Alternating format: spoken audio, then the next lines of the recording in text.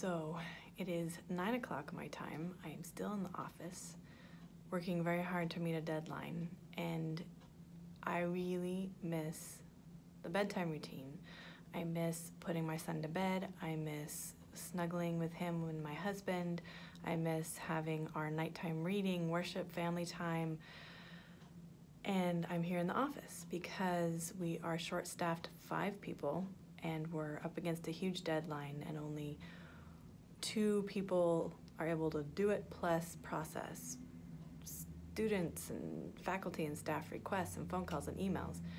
So I'm here and I am going to dedicate my time. I have, I don't know, one, two, three, four, five more items I need to do.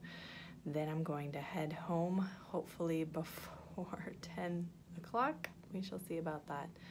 But this is just the life of a mom boss. You're the boss, you're responsible, it's your office, and when you're short staffed, you're it.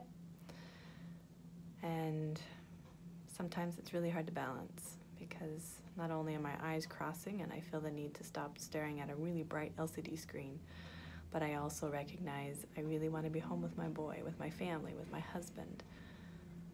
And I just have to give a shout out to my parents in law who took care of Micah, took him home, made sure he was in his own bed because they knew that I would be working as late as I needed to tonight.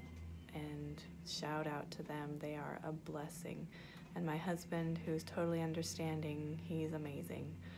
And I just hope Micah doesn't miss me too much because I miss him terribly. So, signing off, gonna finish these last five items and get to bed. I'd love to hear how you guys, who are also mom bosses or dad bosses, handle things like this where you desire to be home but you know you have responsibilities and how you balance it. Signing off.